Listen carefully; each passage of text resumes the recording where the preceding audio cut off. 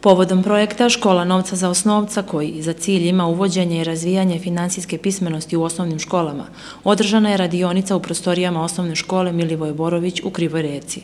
Finansijska pismenost je tema koja se provlači kroz projekat koji je uveden u školu pre dve godine, a u pitanju je obogaćen jednosmenski rad. Danas su učenici sa našim gostima e, malo razgovarali o ovoj temi. Naši gosti su nam predstavili svoja zanimanja, delatnosti, delatnosti kojima se bave. E, iznali su svoje neke stavove e, ovaj, vezano za štednju, za preduzetništvo i slično, a učenici su sa njima, sa njima podelila svoje neka iskustva i znanja koja su stekli. Bilo je zaista zanimljivo. Mi smo u toku prethodne nedelje i u ovoj nedelji se bavili temom e, finansijske pismenosti, novca, preduzetništva, štednje. Ono što je i cilj uopšte e, nas kao vaspitno-obrazovne ustanove je da od ovih malih ljudi stvorimo e, društveno odgovorne,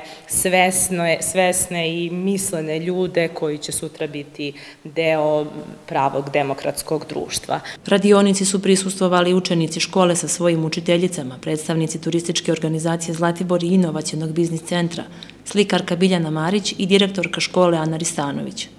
A šta je to štednja i na koji način deca štede, pitali smo mališane. Pa bilo je dobro i bilo mi je zanimljivo. A jel ti štediš novac? Da. I šta onda kupiš? Pa ponekad kupim nešto za jelo.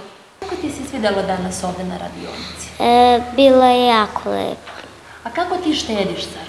E, tako što pare stavim u novčanik i stavim negde i čuvam za sebe. A kako ćeš ti da štediš? Na koji način?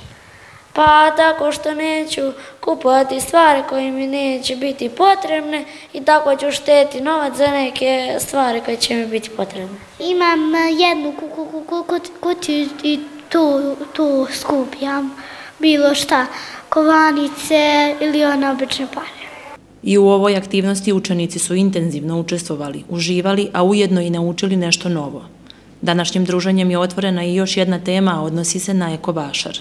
Naime, napravljen je predlog upotrebnih predmeta koji će se ponuditi na vašaru, što će biti uvod za preduzetništvo učenika ove škole u narednom periodu.